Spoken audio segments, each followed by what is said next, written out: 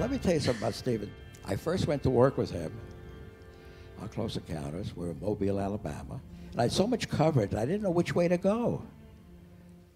With all my experience, I didn't know how to cut it. And I went over to Steven. I said, Steven, I, could you help me put the scene together? I don't know what I'm doing. He said, okay, fine. And he told me what to do, and I did it. And he came to me later and says, thank you. Thank you for telling me the truth, that you didn't know what you were, how to do it, and you came to me for help. And I think that's wonderful that you're straight that way. And he appreciated it even today.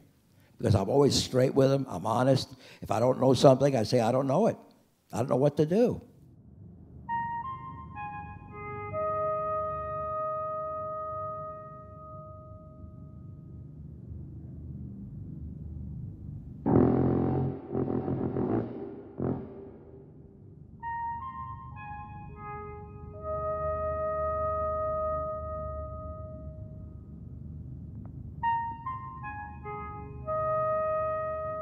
Boy, Johnny Williams did a great job on that, didn't he? I needed the rhythms because I cut it to the music. And that was very tricky because the lights were different and, you know, all kinds of coverage here. We had all the lights that were shot live. And, uh, and the lights on the mothership were, were added, but was that a lovely scene? I thought it was very, very, uh, uh, what's the word, uh, symphonic. It was just, it was just beautiful for Johnny to do that.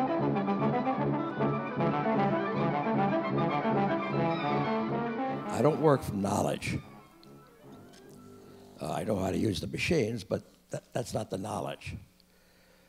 Uh, I work from feel, intuition. I'm not a mechanical editor. I, I try to feel things out, and when it feels right to me, then I show it to the director. And, and everything I do is in feel. And, and it's the same thing with Steven. He feels. And uh, if it feels good to you, that's what you got to show. If it doesn't feel good, keep working. Because uh, some of these things can be very beautiful, you know, if you give it a shot.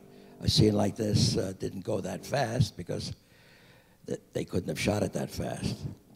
But uh, it was a lovely piece of work that Steven did there, and Johnny Williams. And all I had to do was hook some shots together, and and that was about it.